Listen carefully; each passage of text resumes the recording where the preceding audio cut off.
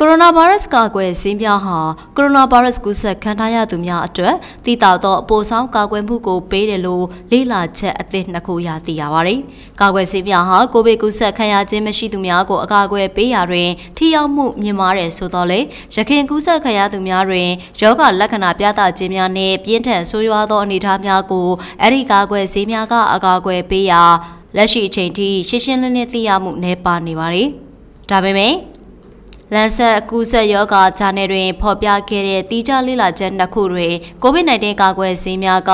စာကော့တူကူးစက်ခံထားသူများထို့သဖြင့်ပြင်းထန်ယောဂကိုကာကွယ်ရာတွင်အပေါ်ဆောင်ကာကွယ်မှုကိုပေးနိုင်ကြောင်းတည်ပြုထားပါသည်။ဘရာဇီးနိုင်ငံမှာပြုလုပ်ခဲ့တဲ့ပထမလေ့လာချက်တွင်ကာကွယ်ဆေးလေးမျိုးဖြစ်တဲ့ Coronavac, Oxford AstraZeneca, Janssen နဲ့ Pfizer BioNTech တို့ကထုတ်လုပ်တဲ့ကာကွယ်ဆေးများဟာရောဂါလက္ခဏာပေါ်တဲ့ပြန်လည်ကူးစက်မှုဖြစ်စဉ်များနဲ့ရခင်ကကိုဗစ်ဖြစ်ဖူးသူများတွင်ဆေးရုံတက်ရခြင်းနဲ့သေဆုံးခြင်းတို့ကဲ့သို့သောဆိုးရွားခြင်းတွေများကိုအပိုဆောင်ကာကွယ်မှုပေးနိုင်ကြောင်းသုတေသီများကတွေ့ရှိခဲ့ကြပါတယ်။ဆွီဒင်တွင်ပြုလုပ်ခဲ့တဲ့ဒုတိယလေ့လာချက်တွင်အနည်းဆုံး6လအတွင်းရခင်ကကိုဗစ်ဖြစ်ဘူးသူများကိုကိုဗစ်ကာကွယ်ဆေးကအပိုဆောင်ကာကွယ်မှုပေးတာကိုတွေ့ရှိခဲ့ပါတယ်။ အရင်ကူးစက်ခံရသူများတွင်ကာကွယ်ဆေးထိရောက်မှုနဲ့သက်ဆိုင်တဲ့အရေးပါတဲ့ချက်လက်များကို၎င်းလေးလာချက်နှစ်ခုစလုံးကပံ့ပိုးပေးလျက်ရှိပြီးကိုဗစ်ဖြစ်ထားသူဟုတ်မဟုတ်ဆိုတာနဲ့မဆိုင်ပဲကိုဗစ်ကာကွယ်ဆေးထိုးနှံမှု၏အကျိုးကျေးဇူးများကိုမိမောင်းထိုးပြလျက်ရှိပါတယ်။ယခုလေးလာချက်နှစ်ခုစလုံးဟာကမ္ဘာလုံးဆိုင်ရာကာကွယ်ဆေးမဟာဗျူဟာများကိုအသိပေးရာတွင်